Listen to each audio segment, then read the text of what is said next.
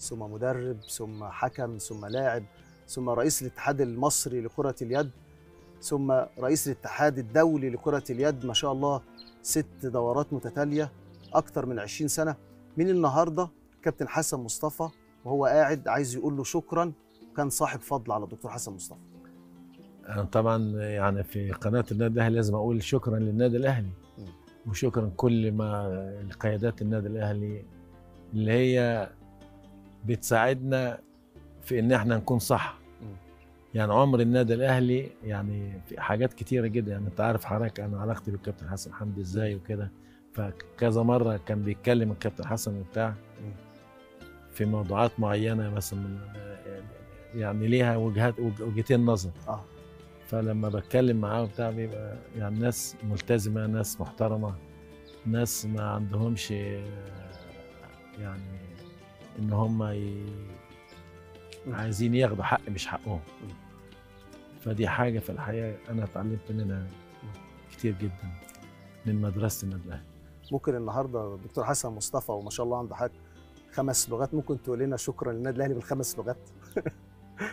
طبعا شكرا بالعربي طبعا. شكرا بالعربي آه. معروفة. آه. وبعدين ميرسي بالفرنساوي. آه. وبعدين آه، د- دانكي شين بالإنج- بالألماني. ألماني. واخد بال حضرتك إزاي فهم طبعا ال آه.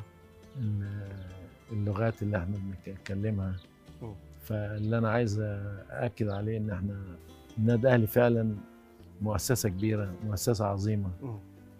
بتقود المبادئ الرياضية على مستوى. العالم كله مش على مستوى مصر بس. وزي ما بقول لحضرتك يعني كتير من الأوقات بيبقى فيه وجهات نظر مختلفة.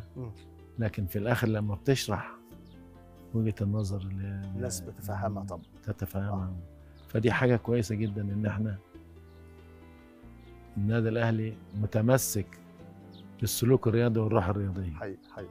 فدي حاجة مهمة حقيقي. جدا يعني. وإحنا النهارده دكتور حسن جينا نزورك ونقول لحضرتك شكرا من القلب شكرا على مسيرة نجاح شكرا على مسيرة كفاح ونجاح فريدة من نوعها.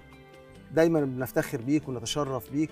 ان حضرتك مصري وتكون رئيس الاتحاد الدولي لسنوات طويلة ده شيء بنفتخر بيه كمصريين وجينا النهارده يعني نقول لك شكرا ونرد لك جزء ولو بسيط من الجميل Thank you so much.